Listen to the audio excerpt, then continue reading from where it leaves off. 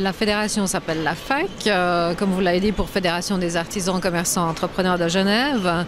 Elle a été fondée en 1922, donc on a quelques années d'expérience. On a 900 membres qui représentent euh, sur euh, le canton de Genève environ 8000 emplois. C'est des entreprises qui sont actives aussi bien dans le commerce que dans les services. On a des boulangeries, on a des fiduciaires, on a des agences de relocation, c'est très varié. Et euh, notre activité s'étend donc euh, sur tout le canton, euh, pratiquement jusqu'à jusqu'à Nyon. Donc on couvre tout ce qui est e-commerce et entreprise à Genève.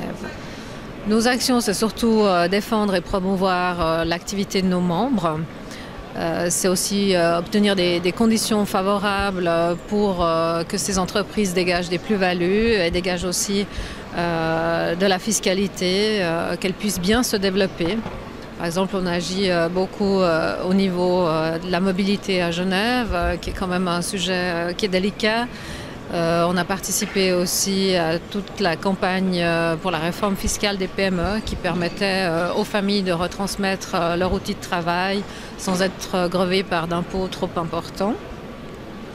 On aimerait aussi pouvoir continuer à soutenir nos entreprises euh, en leur facilitant la tâche.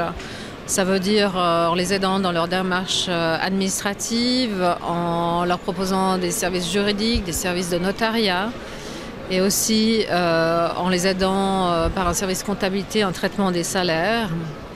Notre fédération est également liée à une caisse de compensation qui permet aux entreprises d'être en ordre euh, avec euh, les assurances euh, sociales, donc aussi bien l'AVS que les allocations familiales.